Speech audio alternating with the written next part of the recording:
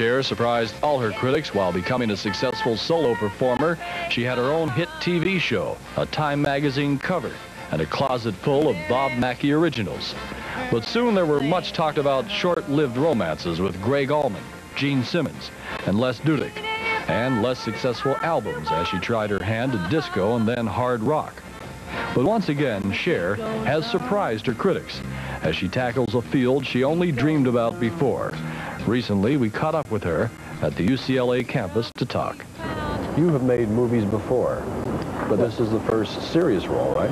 Right. I made uh, about, I made a movie 14 years ago, and I made, made another movie like 16 years ago. God, is that long? And um, they were with Sonny. So yes, this is my what I consider my first film. Come back to the Five and Dime, Jimmy Dean. Jimmy Dean was a stage play. Yes. Which you also starred in. Yes. Along with the same people that are in the movie with Everyone you. was the same. And it was a Robert Altman production. Uh, why did he want to stick with the same group? Or how did he pick you people out originally for it?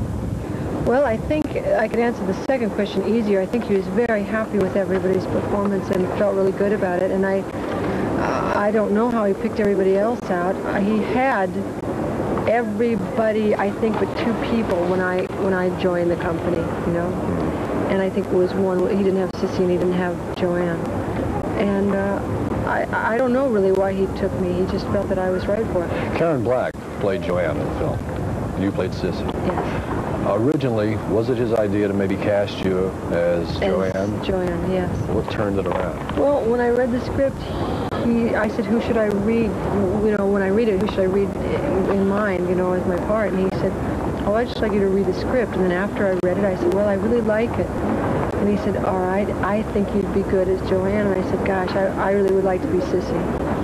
He said, well, then why don't we both, let's keep an open mind and come over and we'll just read, you read both parts and we'll see what happens. And I read both parts and he said, I think you'll make a be better Sissy. In seeing the film, I couldn't help but think about uh, the one character you played on the Sonny and Cher show. Oh, Laverne, yeah. Yeah. Was there any of Laverne and Sissy at all? I think there's a little Laverne in everybody, but I don't think that it's enough to really, it's like, a, Laverne is a very foundation kind of a thing. It's very deep and very pushed back because most people won't let that much come out, you know, that much being just gregarious and all that. But I think that the characters are very dissimilar, but there's some little inklings in both of them. What was the toughest part for you as a, becoming a serious actress? What, what did you have to overcome?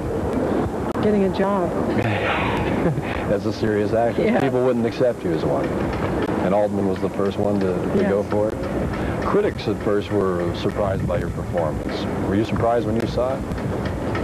Well, I I don't know. The first time I saw it, which was not very long ago, I saw it in November for the first time, in November, in the middle of November. And I, eh, the first time I saw it, I didn't know what to think. And then I went back again a little while ago and I saw it. And I was, I was pleased. You know, you always see things you think, well, I wish I had done that, or I wish I was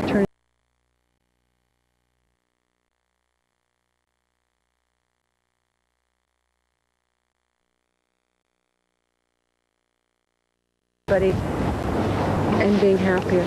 Tell us about your next film, Silkwood, the Karen Silkwood story. Yes, we've done. I mean, it's done. Uh -huh. It just doesn't. It doesn't come out. I think it's September it comes out. A little bit about it. You are.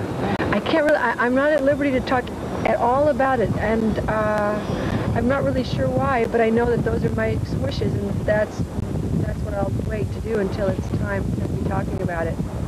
So, with all the film work you're doing now, keeping the keeping busy doing that, uh, you just wrapped up your other film.